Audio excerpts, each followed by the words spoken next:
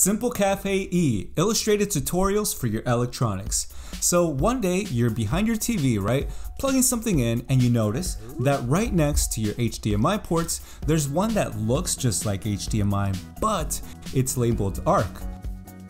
What the deuce, you ask yourself? Eh, it's not when you need it then, so you just went on about your business. But here we are now, and it's time to find out how you can take advantage of ARC. It's been out since 09, but let's start off with what we already know, your regular HDMI connection. You remember before HDMI, when you needed to plug in a white cable for your left audio, red for your right audio, and the yellow one for video?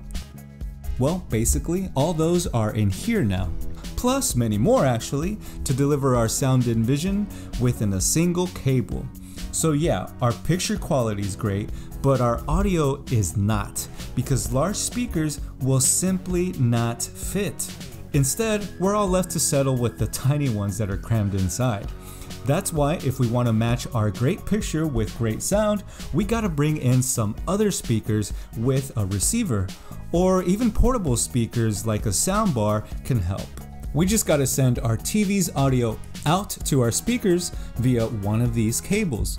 Which one depends on the connectors your TV and speaker systems have.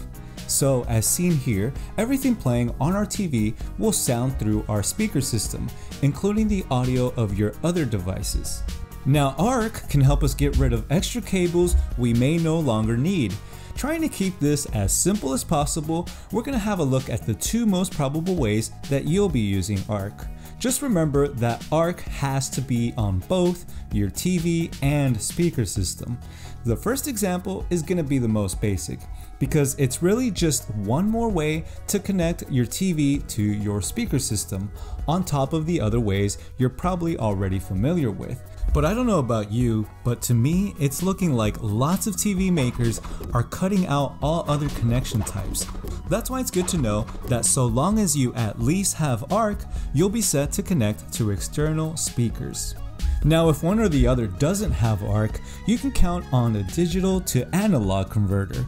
Learn about this convenient device in the video up here if you think you may need it. Okay, on to example Sankhya 2, which truly cuts down on extra cables if you're using an AV receiver, that is, an audio video receiver.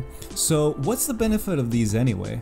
Well, you're able to plug in several media devices at once, and then quickly select the one that you want to hear through your speakers. And since these are connected via HDMI, the receiver also has your device's video signals, as the name implies. So, through a dedicated HDMI out port, we'll forward the selected video to your TV. Oh, and by the way, in this example, we're looking at a home theater setup, but you don't need this many speakers to improve your sound. The point is that now you have your audio going to your speakers, except for the audio that's coming from your TV, right? Like from its apps or the signals that it's catching, the ones that are being cast broadly through the air. Well, now we need to get the sound from here to here if we want to hear our TV through our speaker system that is. As seen previously, we'll need a separate cable to send the TV's audio to our speaker system. But here's where ARC can finally truly shine. Do you remember that HDMI cable that we had connected from our receiver's HDMI out port? The one that's used to forward the video signals to our TV? Well, if your sound system has an HDMI port, that's labeled ARC and it's plugged into your TV's ARC port, it will keep forwarding your device's video up to your TV plus send the audio that's originating from your TV down to your sound system, just as you see here. That's right, through the very same cable. You'll still be connected to your speaker system and can get rid of the extra cables that are no longer needed. By the way, some soundbars have HDMI in ports too, so you can do the very same thing. Alright, alright. I know it may not seem like a big deal, but prior to ARC, our cables were able to send signals in only one direction. But ARC is a two-way street. In fact, the R in ARC stands for return. Audio return channel.